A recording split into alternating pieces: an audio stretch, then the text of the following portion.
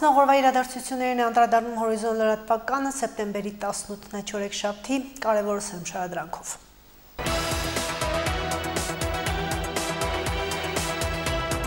Նախագահը ստորագրել է հրամանագիրը Վալեր Ռոսիպյանը այլևս ոստիկանապետ չէ։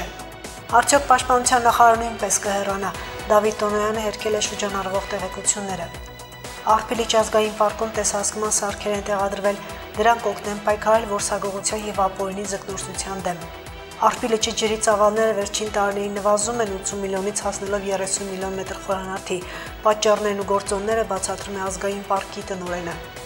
Առաջնախաղ ներկայացումներ ու հին խաղացանք ամբողջ թատերաշրջանում։ Գյումրիի դրամատիկական թատրոնը սեպտեմբերի 20-ին բացում է 154-րդ թատերաշրջանը։ Ավելի քան 20 տարվա դաթարից հետո ռոք երաժշտություն կհնչի Գյումրիի դալանների տակ։ Դալան ֆեստ երորյա ռոք փառատոնը կմեկնարկի սեպտեմբերի 22-ին։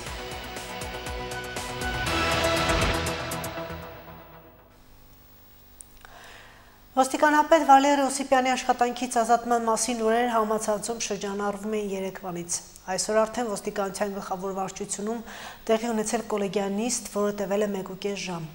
Նիստից առաջ եւ հետո ոստիկաններ հրաժարվել են մեկնաբանություններից։ Այդ ընթացքում հրապարակվել է նախագահ Արմեն Սարգսյանի հրամանագիրը Վալեր Օսիպյանին զբաղեցրած պաշտոնից ազատելու մասին։ Դրանից հետո լրագրողներին որոշ պարզաբանումներ տվել ոստիկանության հասարակայնության հետ կապեր եւ լրատվության վարչության պետը։ Պարոն Օսիպյանը շնորհակալություն հայտնեց ոստիկանության բոլոր ծառայողներին համատեղ աշխատանքի համար։ Նիստն ավարտվեց, տեղեկացնեմ ձեզ, որ այս պահին Հայաստանի Հանրապետության ոստիկանության պետի պարտականությունների կատարումը դրված է ոստիկանության պետի առաջին տեղակալ ոստիկանության գնդապետ Արման Սարգսյանի վրա։ Շնորհակալություն։ Շնորհակալություն։ Պարոն Օսիպյանը։ Պարոն Օսիպյանը, պարոն։ Այո, օրենքով սահմանված կարգով ոստիկանության պետը։ Լիստին միայն հրաժեշտ է տվել, կներեք ուրիշ չէ։ Պատճառների մասին չի խոսել։ Ոչ։ Ինքը դու հարցրել եք։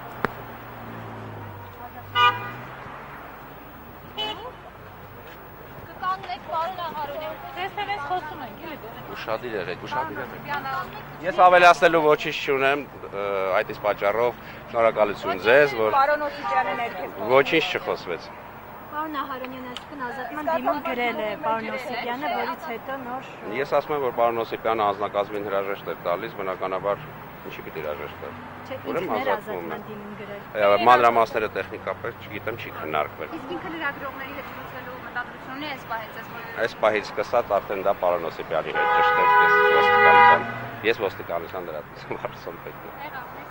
Շնորհակալություն բոլորիդ։ ընդհանուր աշխատանքից ինչ էր ինչ էր ներկայացում ես մի տարվա աշխատանքը ոնց էր Այո, պարոն Օսիպյանը ներկայացրեց բեկ տարվա կատարված աշխատանքը, այն բոլոր համապետական խոշոր միջոցառումները, որոնք ոստիկանությունը կատարել է,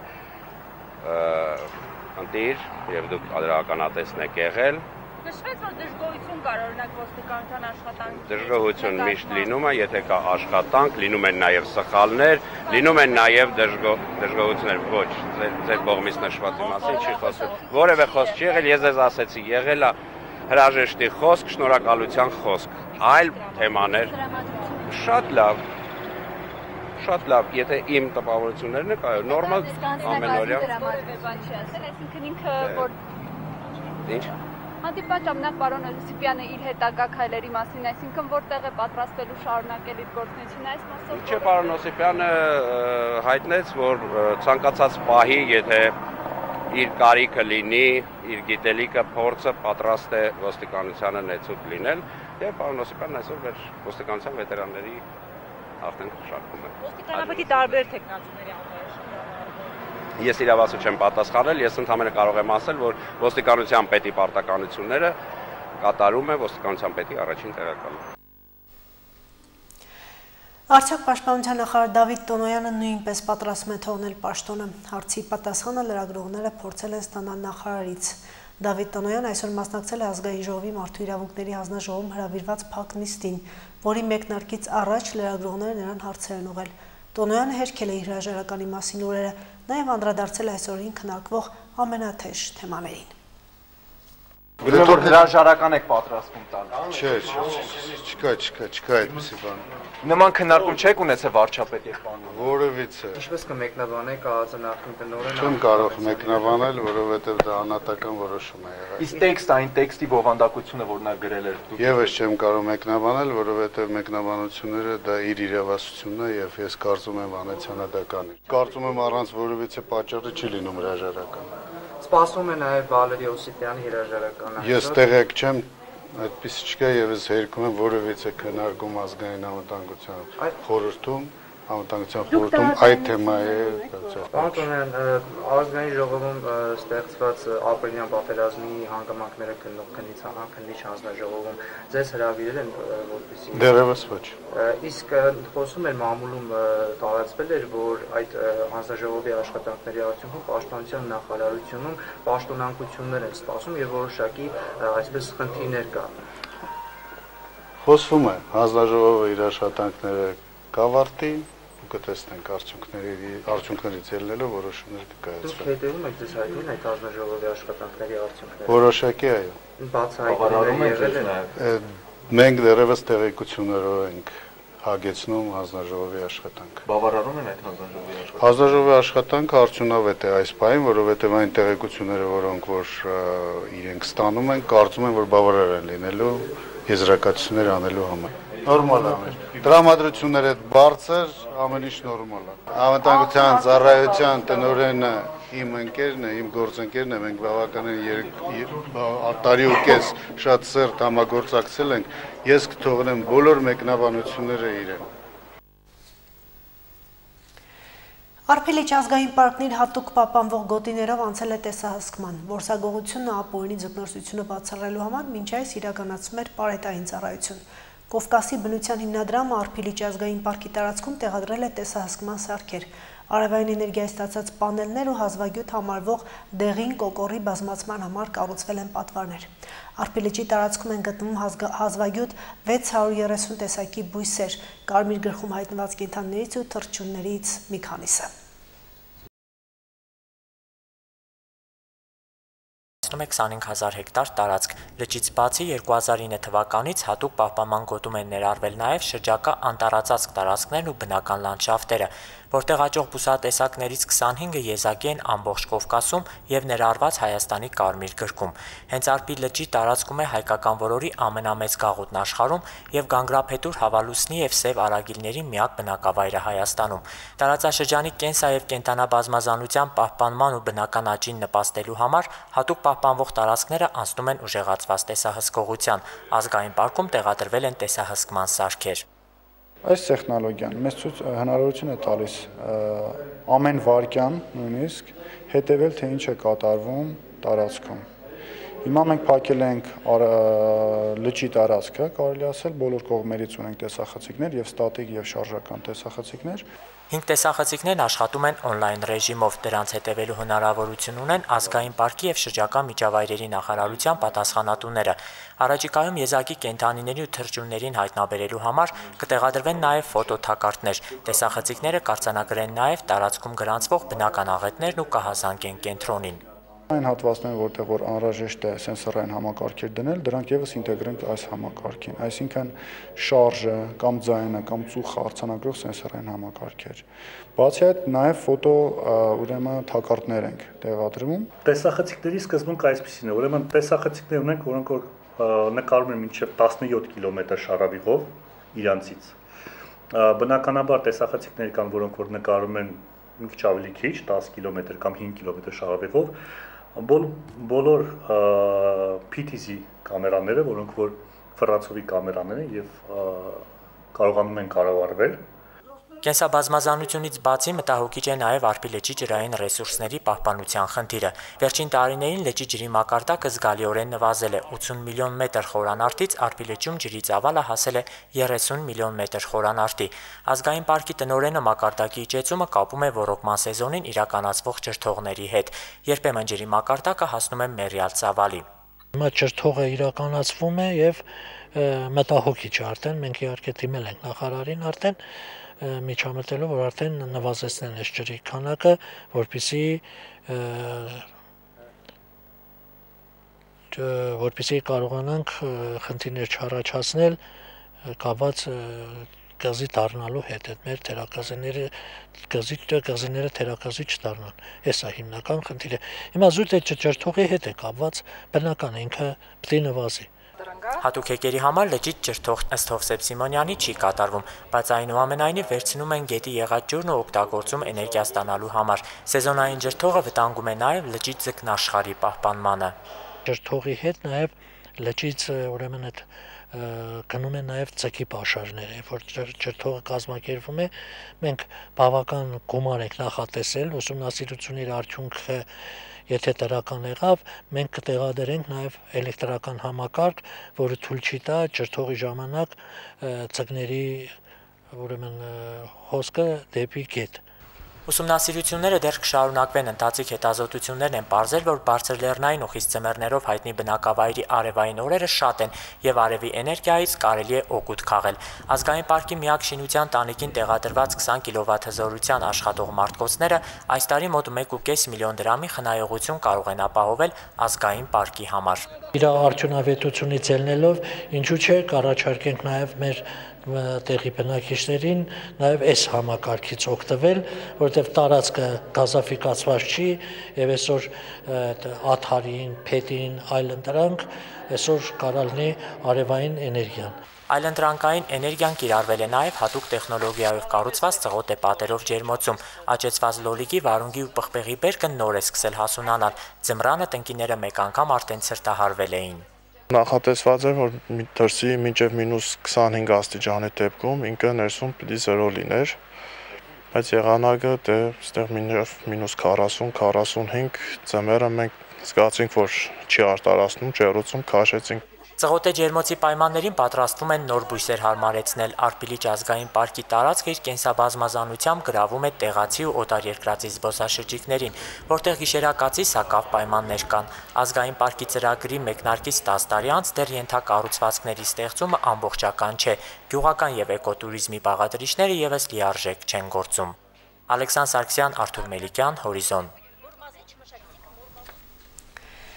Գյումրիի Վարդան Աճեմյանի անվան պետական դրամատիկական թատրոնը բացում է 154-րդ թատերաշրջանը։ Երկու առաջնախաղ, երկու թատերական նախագծով աճեմյանցիները սպասում են, սկսում են թատերաշրջան, իսկ ամբողջ տարին ստեղծագործական է լինելու։ Սպասում են ելի նոր ներկայացումներ։ 154-րդ թատերաշրջանի նորությունների մասին են այսօր հրավիրած մամուլի ասուլիսում խոսել թատրոնի տնօրեն ու ստեղծագործական կազմը։ Սեպտեմբերի 20-ին թատրոնը դռները բացում է թրիչք ներկայացումով, որի ռեժիսորն է Հայաստանի ժողովրդական արտիստ Նիկոլայ Ծատուրյանը։ Բացի ստեղծագործական թրիչքներից թատրոնը նոր թատերաշրջանը սկսում է վերանորոգված ու կահավորված դալիճով ջեմասրահով։ Աճեմյանցիները այս տարի պլանավորել են արդեն հյուրախաղային ցանքը։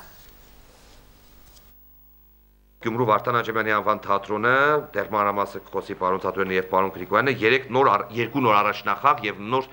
թատերական նախագծով է բացում թատերաշրջանը՝ ի ուրախություն ինձ, ի ուրախություն մեր թատրոնին, որովհետև մեկ այլ բան է, երբ թատրոնում պրեմիերա է ունենում եւ մեկ այլ բան է, երբ այդ պրեմիերայի հեղինակը, գործի հեղինակը Նիկոլայ Ծատուրյանն է ու ես կարծում եմ, որ եւս մի արժեքավոր գործ ենք ունենալու շատ ենք դժվար է, երբ համոզում ես, որ բեմադրություն անի, որտեղ ծանրաբեռնված է, բայց ի ուրախությունից իմ խնդրանքով պարոն Ծատուրյանը որոշեց բեմադրել Սամվել Կոսյանի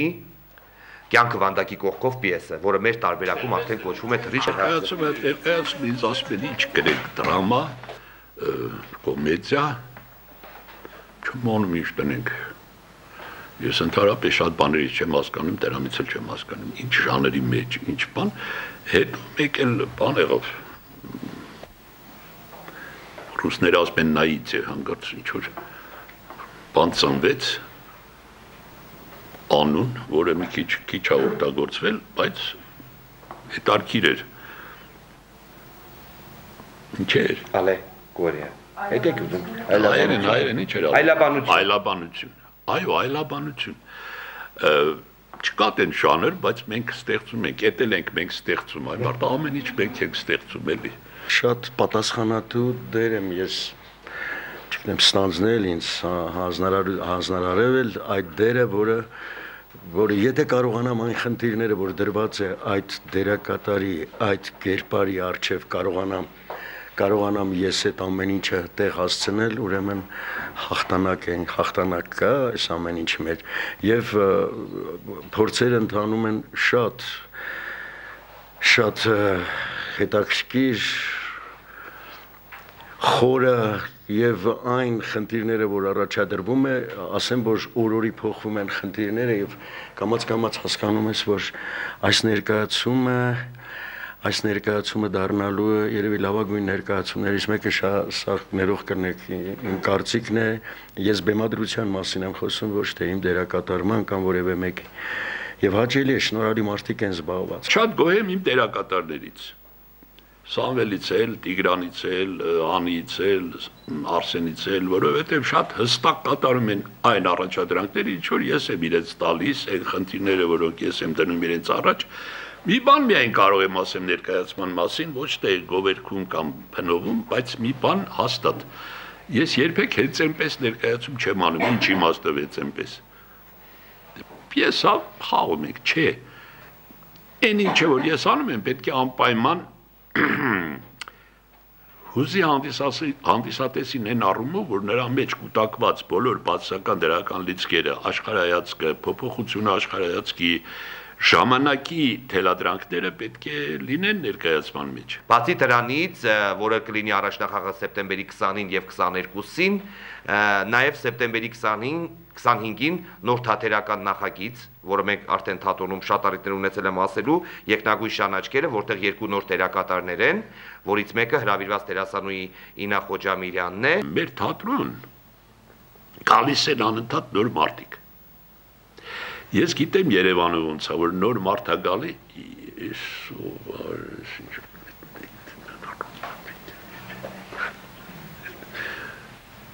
Մեր թատրոնում այն մարդ ընենց են ընդունում միանգամից եւ ինչ սիրով Հա, չէ, օրգանիզմ է, նոր օրգանիզմ է, չնայած 154 տարեկան է, բայց նոր է։ Ադամյանը մեր եկավ Ղափանից մի անգամից իրենց ընդունեցի ոնց որ իրենց հարազատն լինի Էլ չեմ ասում որ գալիս են ներկայացումներում մասնակցում են տարբեր դերասաններ մենք նաև խնդիր ունենք որ յուրաքանչյուր թատերաշրջան տարբերվի 154-րդ թատերաշրջան, 153-րդ թատերաշրջանը մեր մոտ ավելի հայ գործեր, հայ հեղինակներ ենք բեմադրում, չնայած այս տարի էլ այդպես, բայց նաև մեզ համար շատ կարևոր է, որ թատրոնում միշտ գործի այս էլեմենտը, փորձարարությունը եւ կարծում եմ, որ սա տրամաբանական իր շարունակությունն է ունենալու։ Սեպտեմբերի 22-ից 24-ը առաջին անգամ Գյումրիում կանցկացվի Դալանֆեստ ռոք փառատոն։ Ներկայացվել է Լենականյան ռոք երաժշտության պատմությունը, որը սկիզբ է առել 1960-ականներին ու հնչեր շենքերի, կամարների, դալանների տակ։ Խորհրդային միությունում ռոք երաժշտությունը թեև արգելված էր, այնուամենայնիվ քաղաքային մշակույթի անբաժանելի մասն էր։ Այդ երաժշտությունը հնչեցնում էր հայտնի Բամբիր խումբը։ Փառատոնի կազմակերպիչներն այսօր մամուլի ասուլիսով են հանդես եկել։ Հասանք լեգենդար եկեք երկենքի կամարին, հայկական ռոքնռոլի կամարին, կարելի ասել։ Իմ մոտ լեգենդներ են տպավորվել, եթե երևի ճագետ խոսանք, իրանց համար այդ տենց վաղ պատմությունն են հիշողություն գուցե ինչ-որ բաներ իրանք մոռացած լինեն, բայց այդտեղ հավաքվել է 60-ների վերջին այն ժամանակ անգին քարեր էր կոչվում խումբը, Ռոբերտը, կա այն մարդիկ Սուրենը, որը գիտարիստ էր, այս կողքն էր ապրում, ու կարծես թե դալանը ժամանակ դարձել էր մի հավաքատեղի։ Բամբիրի հիմնադիր Ջագի Որթին հորից լսածներն է պատմում։ Տիգրան Մեծ նախկին ինտերնացիոնալ փողոցի այս կամարը երկար տարիներ Լենինականի մտավորականների հավաքատեղին եղել։ Խորթային տարիների խիստ ցենզուրայից հեռու գիշերային ժամերին այստեղ են հավաքվել։ Արկելված ռոք երաժշտությունը լսել ու իրենց ազատ գաղափարներով լցրել։ Ռոք երգիչները ենթարկում էին հետապնդումների, ռոք երաժշտությունը թույլ չէին տալիս, որ պոպուլյար դառնար։ Մարդիկ ավելի հաճախակի էին հավաքվում ու կնդրում քաղաքի ամենահայտնի ռոք խմբի Բամբիրի երաժշտությունը։ Եկեք երկենք։ Երգը հենց կամարի տակ անցկացրած հավաքներից է ծնվել։ Եկեք երկենք հենց այնպես Հին կամարի տակ մեր մեծ Եկեք բարենք հենց այնպես Այս գիշեր մենք Շատ-շատ դեմքեր են փոխվել Շատ դեպքեր են մոռացվել Գնջիրներ են մեզ տվել Որ ծերանանք մենք Վստահ եմ եղած կլինեն, շատ դեպքեր եղած կլինեն, համերգներից ես գիտեմ, որ եղել են դեպքեր, չգիտեմ կոնկրետ այս կամարի տակից ոստիկանությունը մարդկանց հավաք եղած կլինեն։ Ստե կենսագրություն են ապրել, էլի ստե։ Այս կամարի կենսագրությունն ընդհատվեց 1980-ականների վերջին, գուցային պատճառով, որ ռոկն այլևս արգելված չէր։ Մոտ 20 տարի դալանների տակ որևէ միջոցառում չի եղել։ Քաղաքի կամարները նորից դարձնել ռոք համերգների լավագույն վայրեր։ Այս նախաձեռնությունը իրականանում է։ Կազմակերպիչները որոշել են Գյումրիում անկախության 28-րդ տարեդարձը նշելու լավ առիթ բաց չթողնել ու փառատոն անցկացնել սեպտեմբերի 22-ին, 23-ին եւ 24-ին։ Գյումրիում մշակութային կյանքը պետք է դուրս բերել համերգային տարածքներից, դահլիճային տարածքներից, պետք է հնարավորինս հասանելի դարձնել հասարակության լայն շրջանակներին եւ խմբերին եւ դրանք պետք է կազմակերպել ոչ ֆորմալ կերպով։ Կանգ առանք 3 համերգի վրա եւ ամենամյա պետք է լինի այս փառատոնը եւ այնտեղ ունենք մենք նաեւ քաղաքում ուրիշ կամարներ, ուրիշ տալաններ, Սայաթնովայի մյուս մյուս թաղերում, մյուս տարի մենք մյուս տալանները կփոխենք եւ մի փոքր անխնամ անխնամ էին այդ տալանները եւ Գյումրու քաղաքապետարանը հանձնարարավ այդ տալանները մի քիչ բարեկարգել, լուսեր կախեր Բամբիրը փառատոնի ժամանակ դալանները զիջելու է երիտասարդ ռոք խմբերին։ Քաղաքի 3 դալանների տակ 3 ռոք խումբ է համերգային ծրագրով հանդես գալու։ Երևանից Խնձորի Սոկ եւ Տիեզերք բենդ համույթները, Գյումրիից Ռոզենթալը։ Այս նախագծով հնարավորություն կստեղծվի քաղաքի մոռացված դալաններ ուշադրության կենտրոնում պահել։ Փառատոնից հետո կամարների տակ ցուցանակներ են փակցվելու, որտեղ երալեզու տարբերակով կգրվեն քաղաքի ռոքի, ջազի, նաև աշխուղական արվեստի պատմությունները հստակ գաղափար կա աշխուղական փառատոնի վերստեղծումը Գյումրիում եւ ոչ միայն դա կլինի ֆորմալ իմաստով աշխուղական փառատոն, այլև Գյումրիին խիստ հայտնի եւ հայտնիություն բերած ժամանակին մեջլիսների վերականգնումը, որտեղ յուրաքանչյուր ստեղծագործող տվյալ պահին թեմատիկ համ պատրաստից ստեղծագործություններով հանդերձ կգա եւ ամեն ինչ արվում է այդ գաղափարը, պարզապես պետք է նաեւ հասկանալ, որ սա շատ ավելի լայն, շատ ավելի բարդ, ժամանակատար, ծախսատար եւ և մասնակցային մաս պահանջող նախաձեռնություններ։ Աշխուղական փառատոնի համար դեռ շատ ու մեծ անելիքներ ունեն։ Հնարավոր է գարնան այն մեկնարկի, իսկ Դալանֆեստը կդառնա ամենամյա։ Փառատոնին մասնակցելու հնարավորություն այս անգամ չեն ունեցել շատ ռոք խմբեր, նրանք կլինեն Դալանների տակ հաջորդ տարի։ Շանթ հերոստանգերություն հորիզոն Եվ վերջում Հայաստանի ազգային հավաքականի ավակ Հենրիխ Մխիթարյանի Ռոմա տեղափոխությունը օգնել է հայտնաբերել կորած 13-ամյա քենիացի երեխային։ Նրա լուսանկարը Ռոման տեղադրել էր Մխիթարյանի տեղափոխության մասին հայտարարության մեջ։ 13 տարեկան երեխային գտել են ու բարեհաջող վերադարձրել ընտանիքին։ Մխիթարյանը Թվիտերյան էջում անդրադարձել այս փաստին, այն ավանելով հրաշալի նորություն։ Այսքանում այս ժամի լրահոսը սպառված է, հիմնական թողարկումը ժամը 22-ին է։ Thank you.